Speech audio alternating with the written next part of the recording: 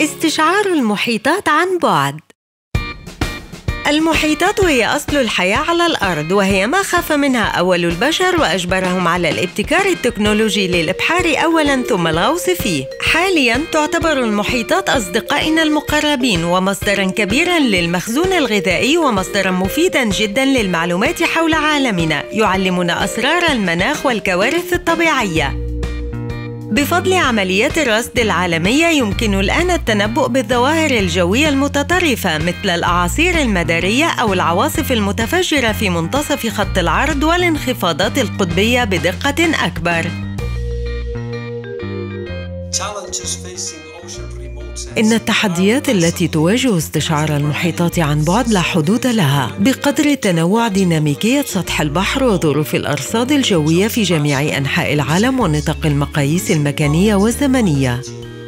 زيادة نوعية وكمية ومدة عمليات رصد المحيطات تعتبر هامة للغاية بالنسبة للتطبيقات العملية ولتقييم التغيرات المناخية المحلية أو العالمية سواء من التأثيرات الطبيعية أو من صنع الإنسان.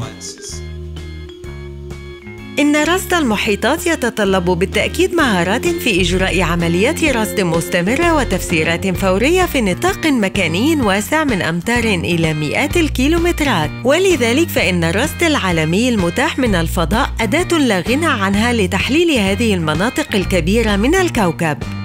باستخدام أجهزة الاستشعار عن بعد يمكننا النظر إلى المحيطات باستخدام تقنيات مختلفة مما يسمح لنا بدراسة لون المحيط.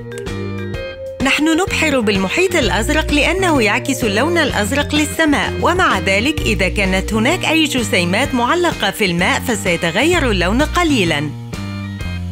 قياس لون المحيط يسمح لنا بمعرفة نوع الجسيمات الموجودة وتركيزها مثل الكلوروفيل والمادة الصفراء والرواسب. وعندما يكون الماء شفافا جدا يمكننا حتى تقدير عمق البحر وتصنيف مختلف أنواع الطحالب سطح المحيط. توفر رادارات الفتحة الاصطناعية تفاصيل دقيقة جدا عن سطح المحيط. يمكنها أيضا الرؤية من خلال السحب. إنها أدوات مفيدة جدا لاكتشاف التيارات البحرية السطحية أو للكشف عن الأهداف مثل السفن أو انسكابات النفط.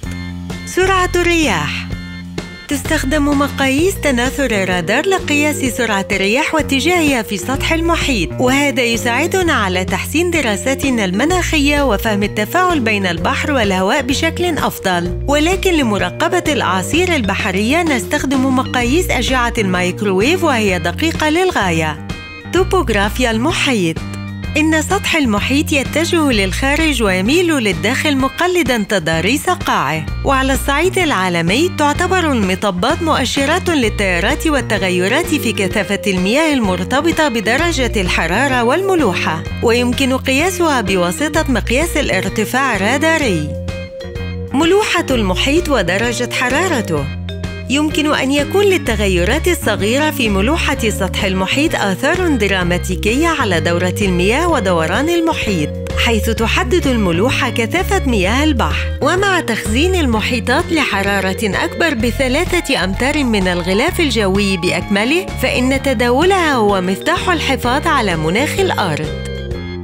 دراسة المحيطات تساعدنا على التنبؤ بالتهديدات الطبيعية القادمة مثل حدث إلنينو وهو ظاهرة مناخية دورية تتعلق بالاحترار في شرق المحيط الهادئ الاستوائي وبتوقعها يمكننا إنقاذ الكثير من الأرواح والخسائر الاقتصادية.